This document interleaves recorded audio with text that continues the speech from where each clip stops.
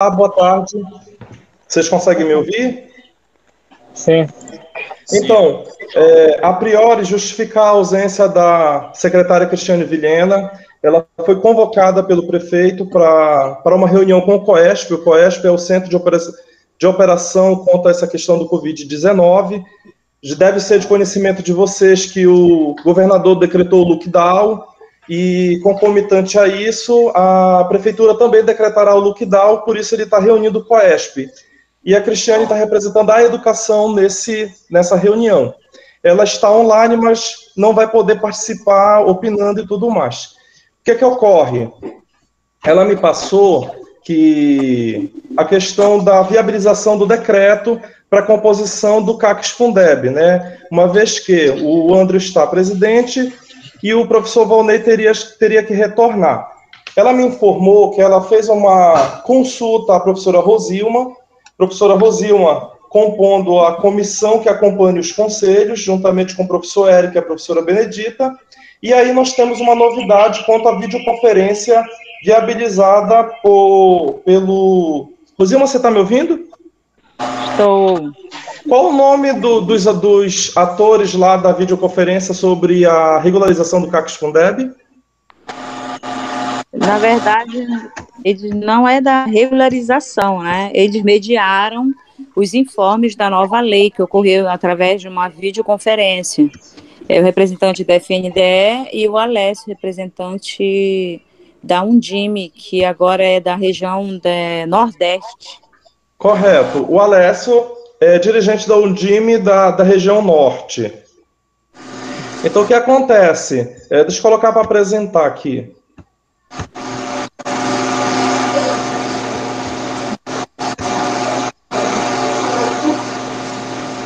Vocês estão vendo a minha tela compartilhada? Sim, sim. Essa é a lei 14.113 do novo Fundeb, que vocês conhecem. Lá no artigo 42, a lei é bem enfática em dizer que os novos conselhos do Fundeb serão instituídos no prazo de 90 dias, contado da vigência dos fundos. É, já é de conhecimento de vocês que o um novo fundo foi implementado em dia 25 de dezembro. É 25 de dezembro, Rosilma? De 2020? Deixa eu ver aqui em cima. Correto, 25 de dezembro de 2020.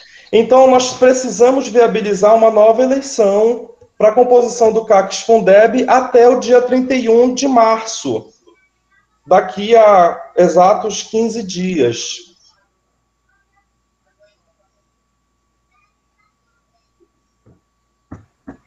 E, e Felipe, deixa eu só Oba. te interromper aqui. É, como na, na, própria lei diz aí, que tu, que tu deu uma lida aí, são os novos conselhos, né? Eu imaginava que eram lugares que não tinham conselho e que seriam implementados. Mas como é, é, a gente viu na, na videoconferência, eles, diz, eles dizem, né, inclusive o técnico do FNDE, que são todos os conselhos. Correto. É, é a revelia mesmo, né? É, o, algum município até indaga o Alessio quanto à questão, mas no meu município o conselho só iria é, vencer daqui a quatro meses ou daqui a um ano, que é o mesmo caso nosso, salvo engano, vence no segundo semestre. Mesmo assim, precisamos fazer uma nova eleição e essa eleição tem prazo de validade, ela encerra-se em 31 de dezembro de 2022. E a partir daí, nós temos o Conselho CACS Fundeb de quatro em quatro anos. É também, é também uma dúvida que nós levantamos hoje, nós tivemos uma conversa, eu, Valnei e o, e o Jânio, é, com relação a, ao, Valnei, ao Valnei poder se candidatar novamente à, à, à eleição, caso, é, já que é uma nova legislação, é, se, se vai, vai haver algum impedimento para ele nesse sentido. Entendi. O que, é que ocorre nessa questão? Eu pedi, inclusive, para a professora Rosilma enviar um Fale Conosco, juntamente com um e-mail, para o e-mail do fundeb.fnde.gov.br, é, fazendo esse questionamento, uma vez que o Valnei já foi reconduzido ao cargo pela segunda vez. E se ele novamente concorresse, já seria uma, uma segunda recondução. Eu não sei até que ponto essa nova eleição é extraordinária ou ela já seria uma terceira se partirmos do pressuposto que o Valnei tende a se candidatar. Não tenho problema nenhum do nosso colega Valnei se candidatar, mas precisamos dirimir essa dúvida e eu pedi para a professora Rosima, é, para descargo de consciência, entrar em contato com o FNDE para poder sanar essa questão. Felipe. Oba!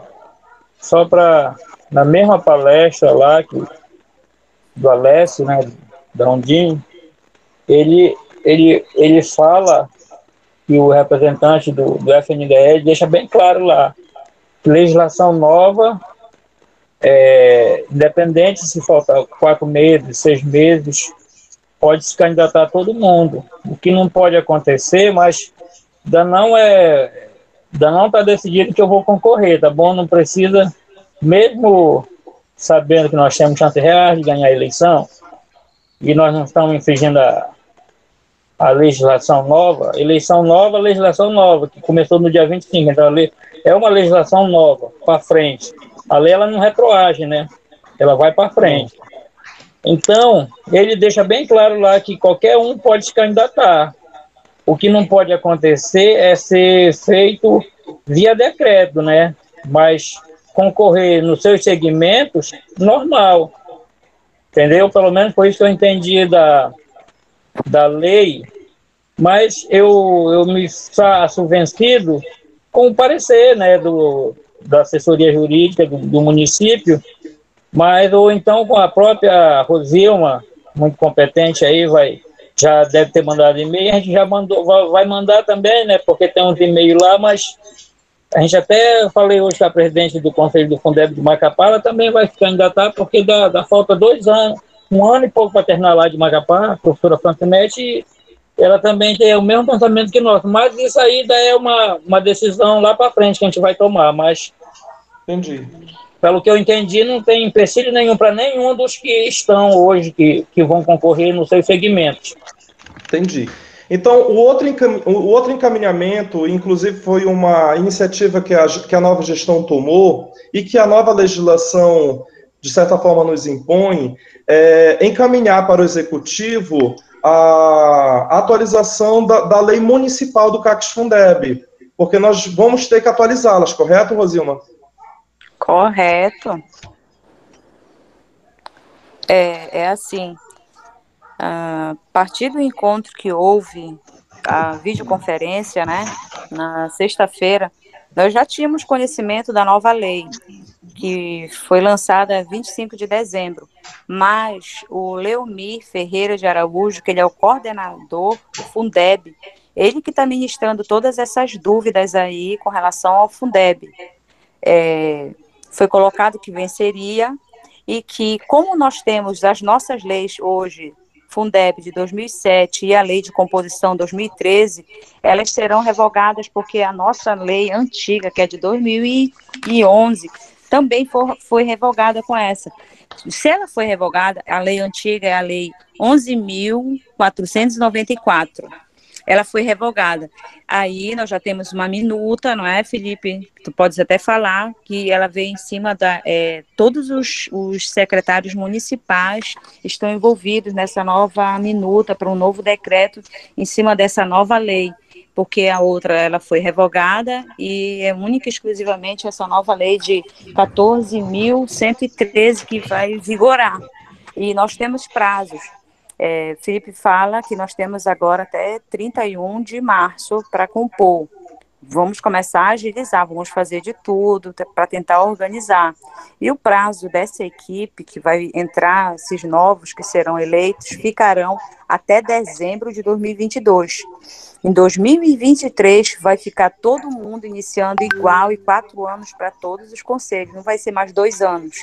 E vai ficar município e estado equiparado. É por esse Correto. motivo que se faz necessário nós termos essa lei.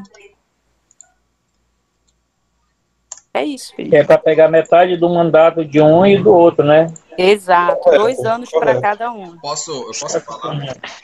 Pode. É, eu entendo que é, como a nossa, a nossa lei, né, a lei municipal que foi instituída, ela, ela foi baseada na, na lei federal ela entrou em defasagem no momento em que houve um, uma complementação agora do, do, essa nova essa nova essa nova lei do Fundeb, entendeu?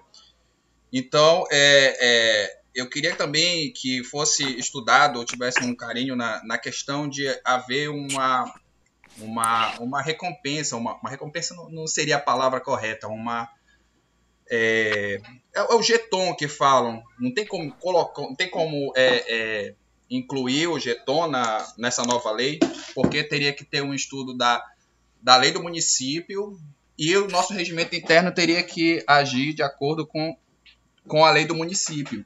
E se já houvesse na lei do município essa questão é, do Jeton, já ficaria mais fácil para a gente incluir no nosso no nosso é, regimento interno. Aí eu não sei como é que como é que tá a organização de vocês aí é, com relação a, ao texto da lei, mas eu gostaria que fosse discutido com a gente e a gente tivesse acesso.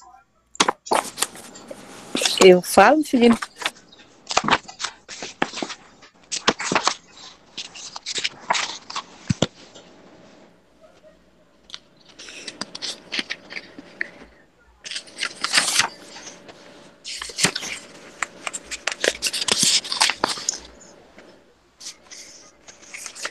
Felipe, posso falar? Teu áudio está desativado, Felipe. Pode falar, eu estou ouvindo.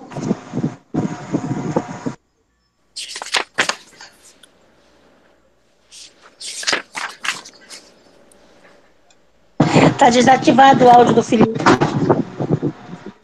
Ele que ativa o áudio dele, tá mão dele. Boa tarde, gente. Desculpa o atraso aí da reunião. Boa tarde. Boa tarde, doutor Jânio.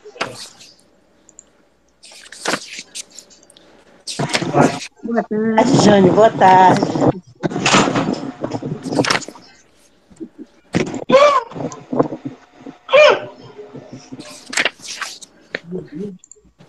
Alguém, alguém avisa o Felipe do áudio dele que ele, ele tá falando, a gente não tá conseguindo receber. Então, Vitor, ligando o áudio dele. Oi. Agora. Oi. Tá agora? Agora sim. Ah, Agora tá. sim. Então, no que diz respeito à minuta é, da lei municipal, foi a professora Rosilma que entrou em contato com quem, Rosilma? Foi a representante, doutora Silvia, da Undime, representante aqui no Estado. O, o Andrew fez uma pergunta, se havia possibilidade de inserir.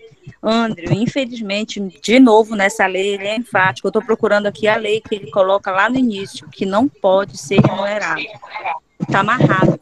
Aí eu penso que por estar numa lei federal já informando que não pode, naturalmente aqui no município nós não vamos ter esse direito de inserir, mas cabe a doutora Marciane estar falando, mas aqui na nova, na 14 mil, ela consta aqui que não vai ter direito. Estou procurando aqui a lei, o artigo, aliás, que menciona. É, e esse, com relação a essa minuta dessa projeto de lei, ele foi única e exclusivamente, ele é mencionado que a- o nosso suporte vai ser a lei 14.113 e foi pego alguns pontos Boa tarde, importantes gente. com relação à Tem um problema na composição, minha conexão. Com relação à composição, com relação às atividades que irão ocorrer pelos novos conselheiros eleitos, entendeu?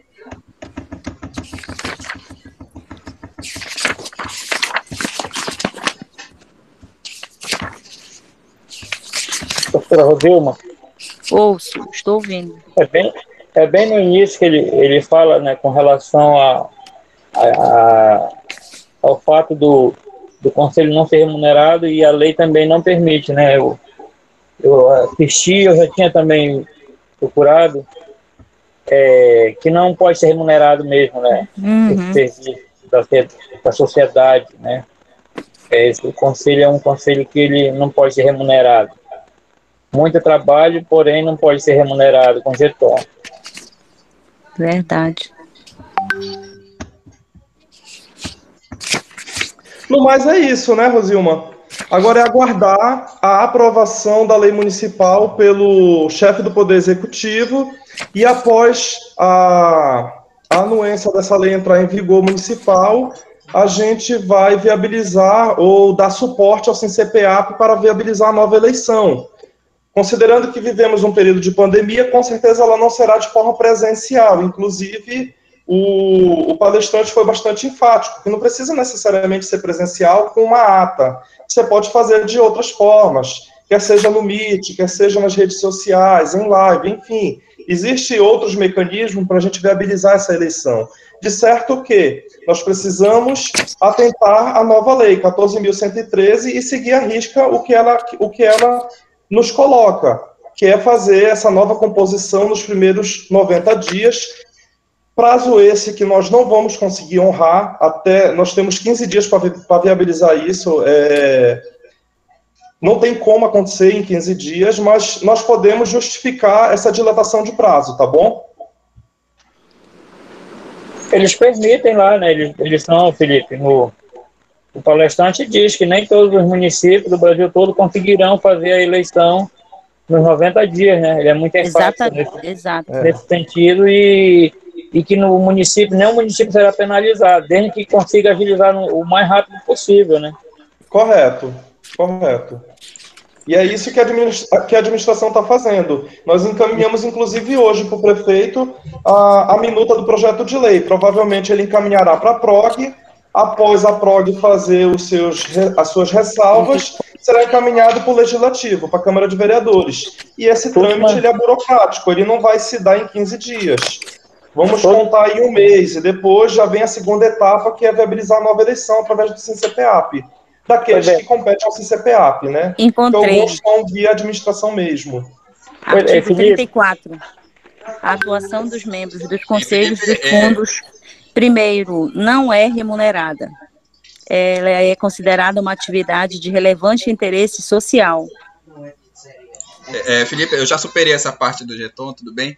É, mas eu queria, eu queria, que tu desse uma repetida aí, pro, principalmente para o Jânio, que é o nosso vice-presidente, e que ele chegou agora, repetir o, a primeira parte da reunião com relação a, a, como, vai, como vai proceder exatamente essa, essa eleição, eu, eu entendo, a gente estava conversando é, mais cedo sobre é, uma possível eleição via, via internet, isso não comprometeria a lisura do processo? Não comprometeria porque foi inclusive uma sugestão do responsável pelo FNDE do Fundeb. Foi uma fala dele. Inclusive foi uma prática já utilizada em outros municípios. Então é lícito sim, não é ilícito não. É, e... Foi uma proposta deles com relação a é, é, é, isso. Na hora lá foi, foi questionado a questão da pandemia. Ele falou: estamos em pandemia, podemos fazer online. E o exemplo que ele citou foi: faça um grupo de WhatsApp, 250 pessoas.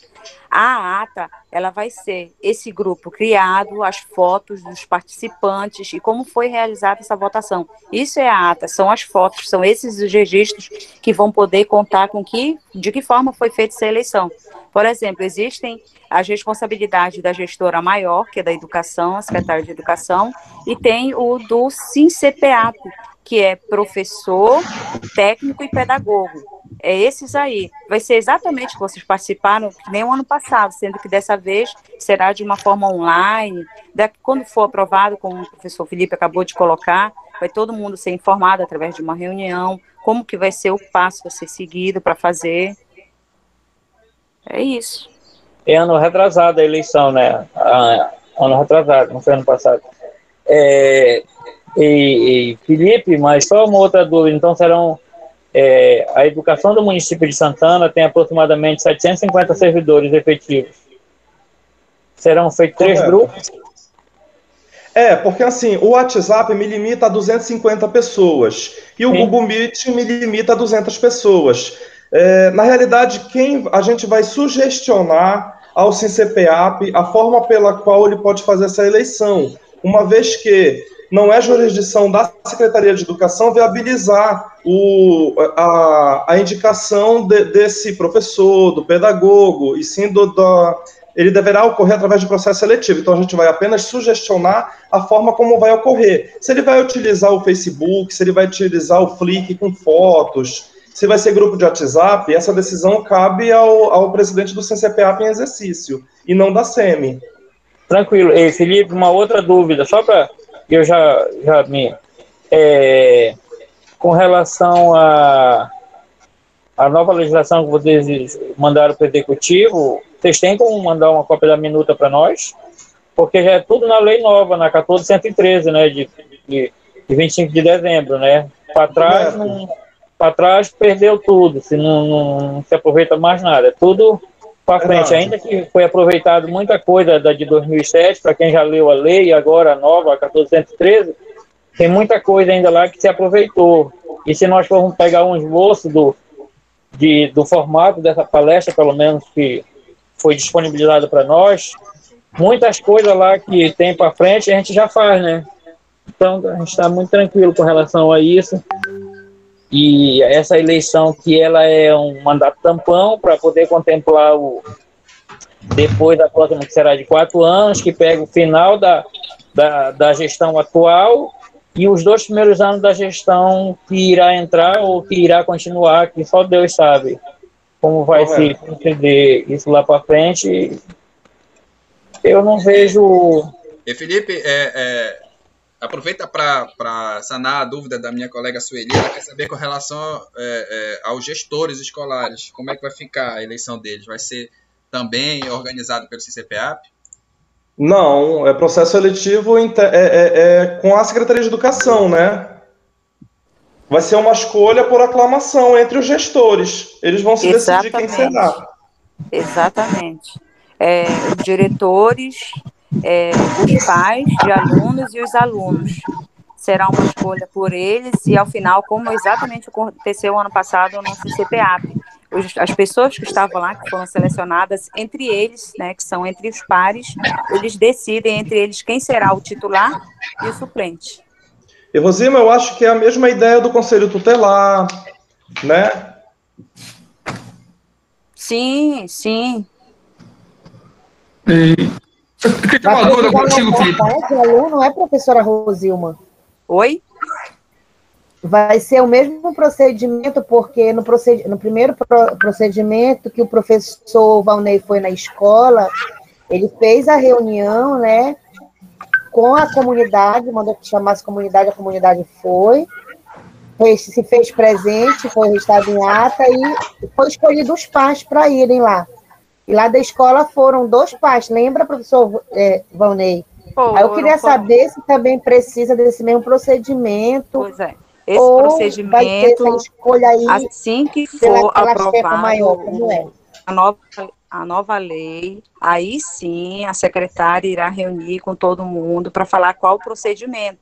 Mas a única responsabilidade hoje do SINCEPAP é somente com professor, pedagogo e técnico. Os outros é entre seus pares, por exemplo, diretor, pais e alunos, é entre seus pares. O mecanismo que vai ser utilizado ainda não está finalizado, não está definido, tá? Mas vai ser esse critério, como o professor Felipe acabou de colocar. Serão vários diretores que naturalmente irão se candidatar, que são os atuais. Queria ser um exemplo, não, não foi discutido isso em nenhum momento. Tem aqui os diretores que vão se candidatar. E esses diretores aqui, 10 se candidataram entre 30 lá, por exemplo. E entre esses 10, eles vão ter que votar entre eles quem vai ser o titular e quem vai ser o representante. Vai ser dessa forma, tá? Não, tá ótimo, tá. Obrigada. Professor Jean tem uma pergunta. Por nada. Gente, mais uma vez, boa tarde. Felipe, essa dinâmica, né, esse edital de eleição do Conselho do Fundeb, já tem assim mais ou menos como vai se proceder? Já sabe que o modelo é a distância, né? Agora, exemplo, como vou saber que quem está no grupo realmente é um, um profissional de educação, um segmento professor, para votar em professor e segmento técnico, para votar, por exemplo, em técnico? Já tem essa, essa, essa ideia, como vai ser esse formato aí? Então, eu te confesso que a gente ainda não tem essa ideia. E quem vai encabeçar essa ideia de como será é, será o SINCEPAP e não a Secretaria de Educação. Nós ah, iremos okay. dar apenas o suporte, mas cabe ao SINCEPAP viabilizar esse processo eletivo da categoria professor, dos técnicos e tudo mais. Tá certo. Entendi agora. Nós vamos apenas sugestionar é, via ofício a forma como pode ocorrer. é Felipe, okay. só para só mais uma dúvida que eu, eu me fugiu o pensamento ainda agora, e a professora Rodilma pode também contribuir com o debate. É, o palestrante ele fala muito na, na escolha do, dos representantes, quando for por, por indicação, né, para tentar para o parentesco com relação à uhum. a gestão, né? Ou a gestão ou parente próximo do secretário, parente próximo do. Quem pode realmente, quem não pode seus indicados, e até mesmo professor, na escolha de professor, tem que atentar para isso. Ele fala bem no início do vídeo dele, eu acho que vocês assistiram todos, eu não sei se foi só eu que, que detalhei ele, esse... Ele fala, Valnei, no vídeo, e tem uns quatro slides informando quem não pode. E ah, tá, tranquilo. Está elencando tudo isso aí. Não, é seja... Por exemplo, se eu tiver parentesco com presidente, governador, prefeito, vereador, não pode. Se eu for irmã de algum secretário, não posso. Quem, quem exerce algum cargo, eu não posso me candidatar. Tranquilo, era, é isso que eu estou querendo falar. É porque, Sim, mas como... muito bom você lembrar que nós vamos atentar para isso, para quando as pessoas é se candidatarem. É só para a gente ter o cuidado, porque esse conselho, é, e aí eu agradeço a professora Rosilma, que que a gente não precisa tietar e nem é, elogiar, mas ela é muito competente na, quando foi lhe dado a, a missão para que puder realizar essa, ele, essa eleição e a importância de, deste conselho né, para a sociedade civil organizada e para os, o, de modo geral, dos servidores.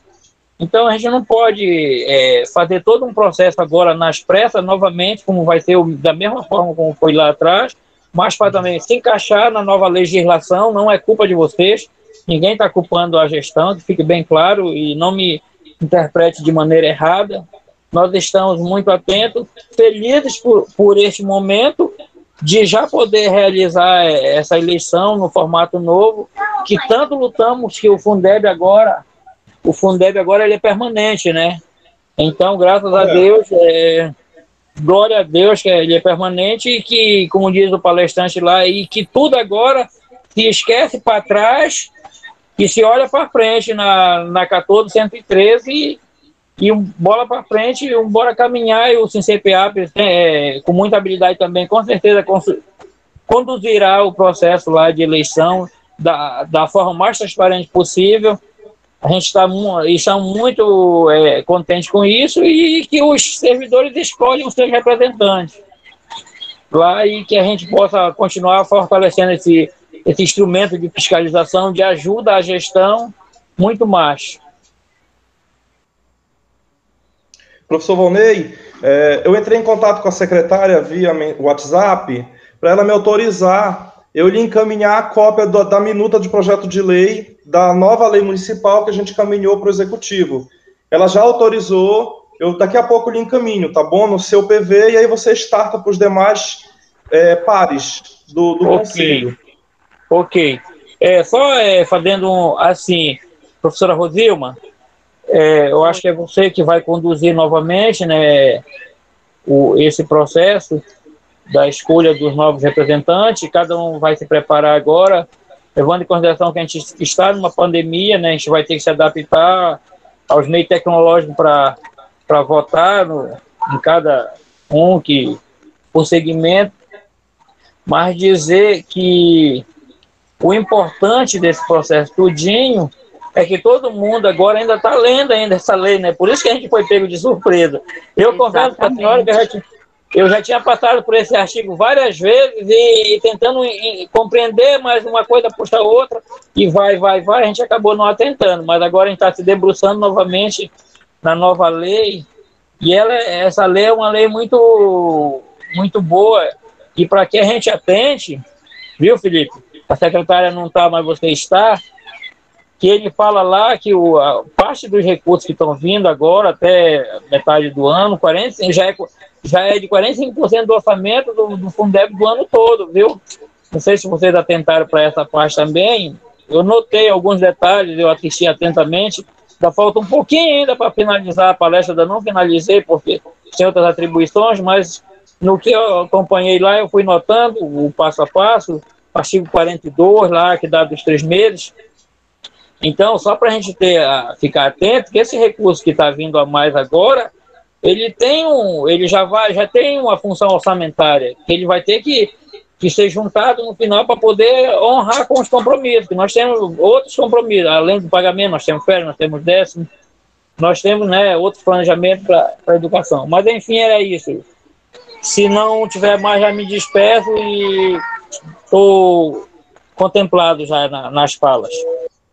Perfeito. É, em nome da, da equipe da Secretaria de Educação, eu agradeço a todos que se fizeram presente nessa reunião via Meet.